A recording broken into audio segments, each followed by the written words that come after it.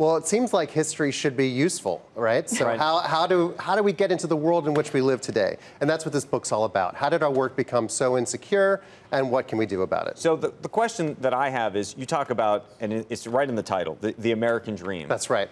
Do you think the Amer- and we've debated this for a very long time? Is the American dream challenged? Is the American dream over? Is the American dream dead? What do you think?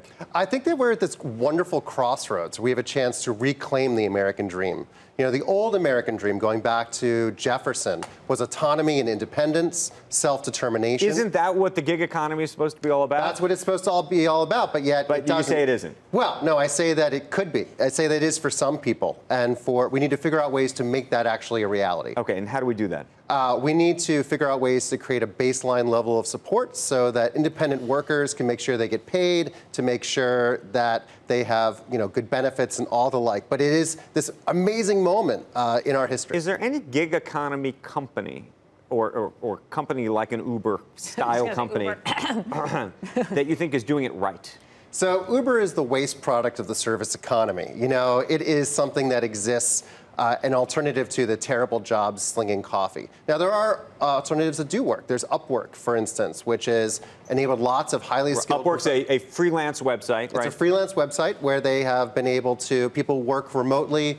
They're all around the world. They get paid pretty well. They do all kinds of stuff. And so there are alternatives like that. Can I, can I just ask, though, uh, this is an evolution, just like we've seen other evolutions and revolutions before. That's right. There are now the workers who are the gig workers who are kind of pushing back and demanding more, too. We saw this in the industrial Revolution. Are you going to see it in the gig economy, too? So I write a lot about that in the book. So it took us 100 years to make the Industrial Revolution work for regular Americans. So let's not take 100 years in doing this. Let's make sure that the independent workforce gets its benefits from all this as well. Are you a believer that these gig economy jobs that historically are contract jobs need to come with what might be described as some of the full-time uh, benefits that historically have been uh, bequeathed upon, I don't want to say bequeathed, earned by employees? Well, I think there's a pretty conservative path that we can take here, which is take the 401k as a model and try to apply that to all these independent jobs so that as we move from gig to gig,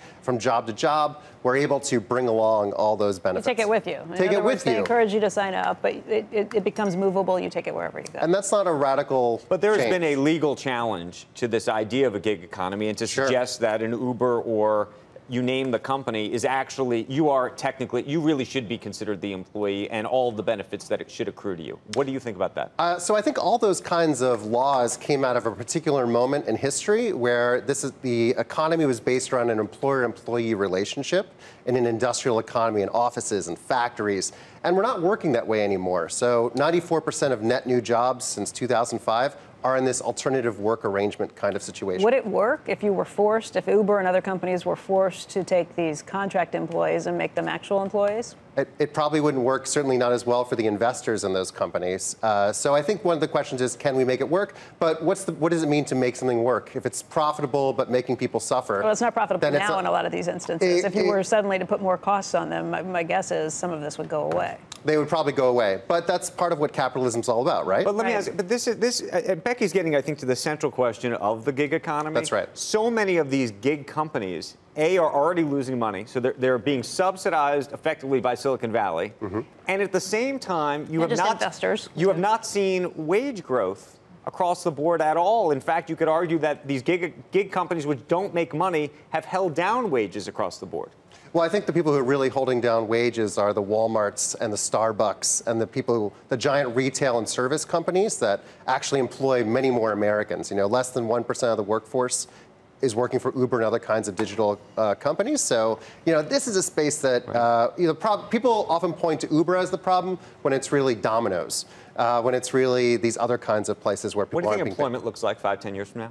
Uh, I think a lot of people are going to be working in this space, and they need to figure out a way to get together and make sure we have policies that support And them. how do you think about the world of robotics, AI, and the potential for that to, and machine learning to effectively take so many of these jobs? Yeah, just like every other kind of technology, it's neutral. Uh, how Neutral. We, neutral. How do we decide to use technology? Technology solves for business problems, and those business problems uh, can perhaps, you know, steer us in direction of uh, everybody being part of it or excluding lots of people. Okay, Louis, uh, You're a full-time employee. I'm a right? full-time employee, although 70% of professors are adjuncts.